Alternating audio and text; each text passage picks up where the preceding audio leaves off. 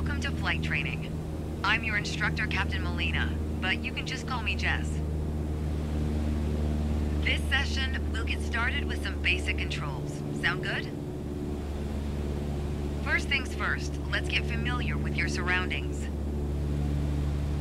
Don't worry. I've got the stick while you get your bearings. Out your side windows, you can see we have great visibility over Sedona today.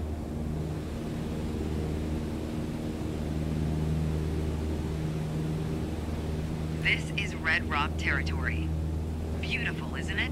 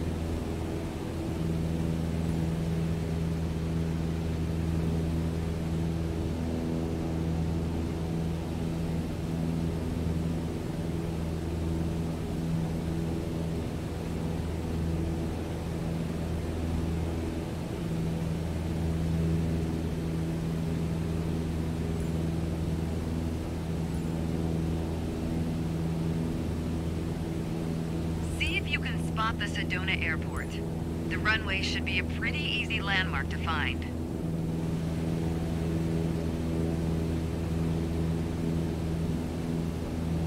There you go. Visual confirmation on the airport. Now that we're oriented, it's your turn. Time to fly this bird.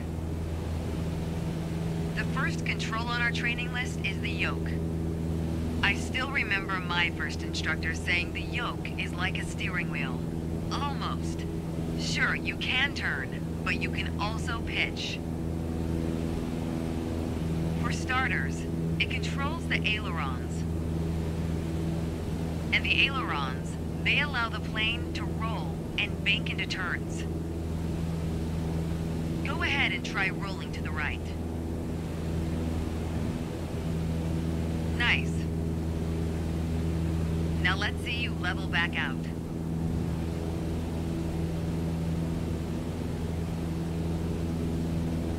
Good. Of course, the yoke also controls the elevator. And the elevator affects the plane's pitch, right? Pull back on the stick, the plane starts to climb. Give it a shot. The most valuable things in aviation are speed and altitude. But notice, when you're pitching up, your speed is decreasing. You could add more power. Or for now, let's just pitch down.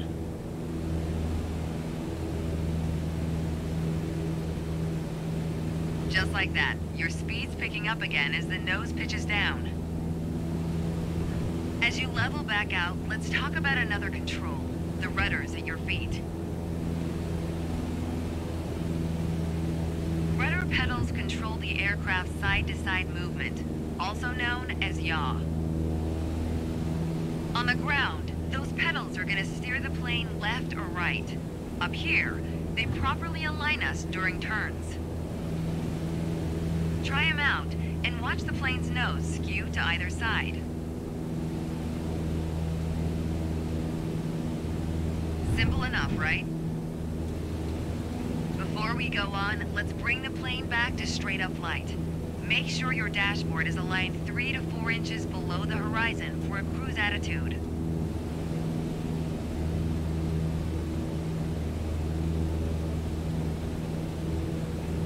Okay, the last thing we're gonna cover now is the throttle. If you have the need for speed, then the throttle's for you. full control over the power output of the engine.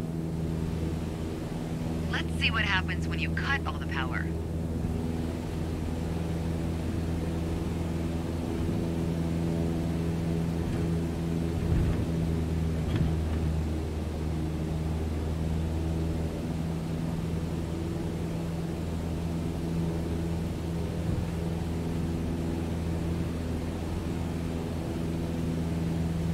Let's see what happens when you cut all the power.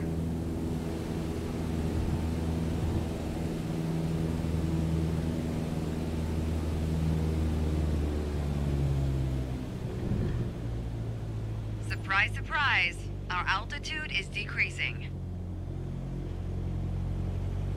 This might be a good time for a piloting PSA.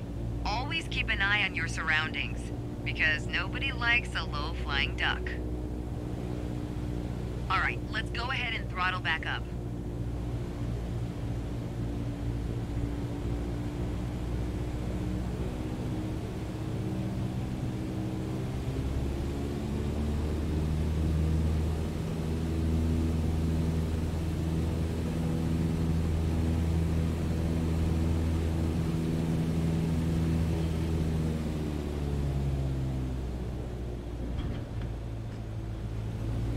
There you go. Speed is increasing, and as long as we maintain the same attitude, our altitude will keep climbing too. You're really getting the hang of your controls. Before long, you won't even need a co-pilot. Until then, if you want help with the radio or checklists or simply flying the plane, I'll be here. You can pass me the controls when you're ready to finish your session, or keep flying. It is a great day after all.